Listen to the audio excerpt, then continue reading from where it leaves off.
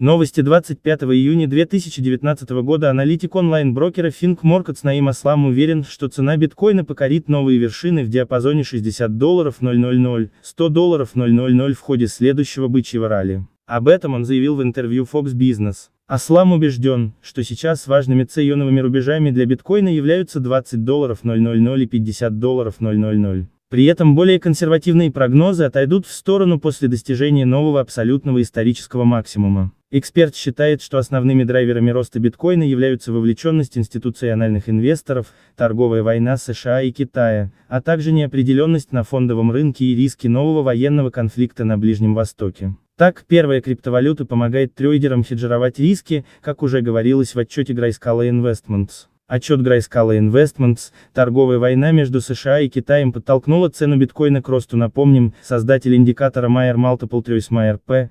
Полный текст читайте на сайте cryptofans.ru, ссылка на новость доступна в тексте под видео.